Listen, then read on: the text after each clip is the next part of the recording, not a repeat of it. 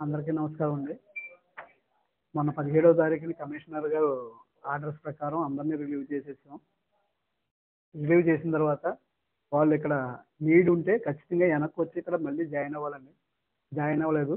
Join అవ్వకపోతే RJD గారు Webex meeting పెడితే వెబ్ఎక్స్ మీటింగ్లో ఈ పాయింట్ రైజ్ చేశాను మాకు ఎవరూ లేరు. ఇద్దరు సబ్జెక్ట్ టీచర్స్ ఉన్నారు. మిగతా ఐదుగురు సబ్జెక్ట్ టీచర్స్ లేరు.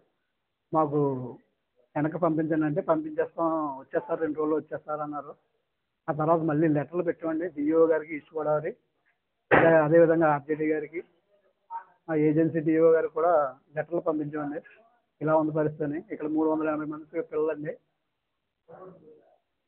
టీచర్ సబ్జెక్ట్ టీచర్స్ లేరండి. వస్తా అంటున్నారు. ఈవేళ మాత్రం పిఓ గారి దృష్టి కూడా వెళ్ళింది ఈ విషయం.